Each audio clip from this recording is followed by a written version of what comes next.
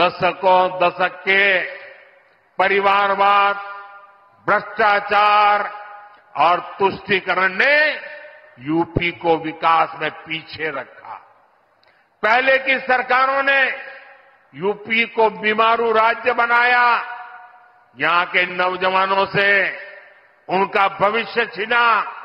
लेकिन आज जब यूपी बदल रहा है, जब यूपी के नौजवान अपना नया भविष्य लिख रहे हैं, तब ये परिवारवादी क्या कर रहे हैं? मैं तो इनकी बातें सुनकर हैरान हूँ। कांग्रेस के शाही परिवार के युवराज का कहना है, और चौंक जाएँगे आप। कांग्रेस के युवराज परिवार ने क्या कहा? वो कह रहे हैं, और काशी की धरती पर आके कह रहे हैं काशी के नौजवान यूपी के नौजवान नशेड़ी है। ये कैसी भाषा है भाई? मोदी को गाली देते देते तो इन्होंने दो दशक बिता लिए।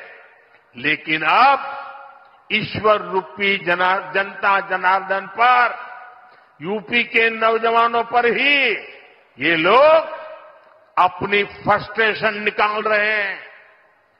जिनके अपने होश ठिकाने नहीं है, वो यूपी के मेरे काशी के बच्चों को नशेड़ी कह रहे हैं। अरे गौर परिवारवादियों, काशी का यूपी का नौजवान तो विकसित यूपी बनाने में जुटा है।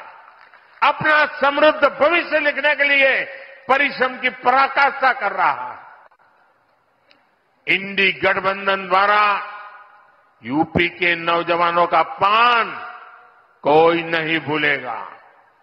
साथियों, गोर परिवारवादियों की